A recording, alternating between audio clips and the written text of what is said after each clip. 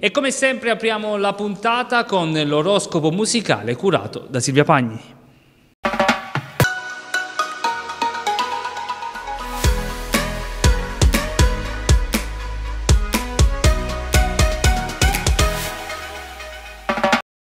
Bentornati a tutti all'oroscopo musicale. Oggi entriamo sotto il segno dell'Ariete. Le particolarità di questo segno sono energico, focoso, esuberante, impulsivo, non manca però la prepotenza, ma sono molto molto sinceri.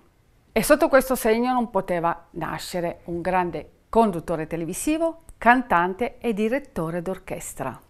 A Formicine nel 1962 nasceva Paolo Belli. Nel 1983 è fondatore del gruppo musicale Ladri di biciclette, in omaggio all'omonimo film di Vittorio De Sica, rimanendone il leader fino al 1991 quando sceglie la carriera da solista. Come membro del gruppo Ladri di biciclette nel 1989 partecipa al Festival di Sanremo, ritornandovi nel 1991. Nel 1989 vince il disco verde nel Festival Bar con il brano Dr. Jazz e Mr. Funk e vendendo, pensate, 100.000 copie dell'album, si aggiudica il disco d'oro. Nell'edizione del Festival Bar del 1990 vince con il brano Sotto questo sole interpretata con Francesco Baccini e aggiudicandosi il Telegatto come gruppo rivelazione dell'anno.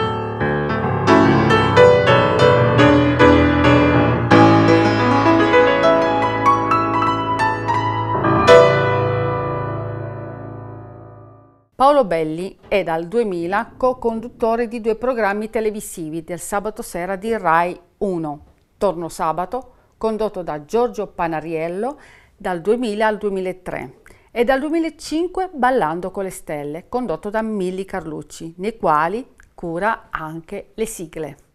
Nel 2009 partecipa di nuovo al Festival di Sanremo in trio con il brano L'opportunità. Si avvicina anche al mondo del cinema, infatti nel 2007 diventa protagonista con la bellissima Sabrina Ferilli del film per la televisione Due imbroglioni e mezzo. Adesso voglio raccontare un attimino un piccolo episodio che mi è accaduto con il grande Paolo Belli. Ero come pianista ah, nel tappeto volante del grande Luciano Rispoli e lui venne come ospite. E come sempre io duettavo con questi grandi artisti. Lui quando mi sentì suonare disse al grande Luciano Rispoli, Zio Luciano, non mi posso sedere vicino a questo uomo che suona il jazz così bene. E Rispoli gli disse, ma lei è una donna? Sì, ma lei suona come un uomo. Paolo Belli non ha mai nascosto il proprio grande amore per il teatro. Infatti lo troviamo prima con Dillo con un bacio, poi con Pur di fare musica e Pur di far commedia spettacolo tuttora in scena. Questo grande artista lo possiamo definire poliedrico, però adesso andiamo ad alcune curiosità. È un tifoso della Juventus e nel 2007 ha cantato e riarrangiato Juve, storia di un grande amore, inno usato dalla stessa squadra di calcio a partire da quell'anno fino ad oggi. Un'altra curiosità molto romantica, pensate, lui è sposato con sua moglie Diana dal 1980. Non hanno avuto figli e hanno adottato un bambino bielorusso di nome Vladik.